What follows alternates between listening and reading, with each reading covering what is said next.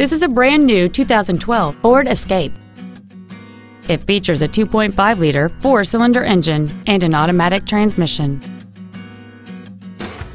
Its top features include a multi-link rear suspension, a low tire pressure indicator, 100% commercial-free Sirius satellite radio, aluminum wheels, and traction control and stability control systems.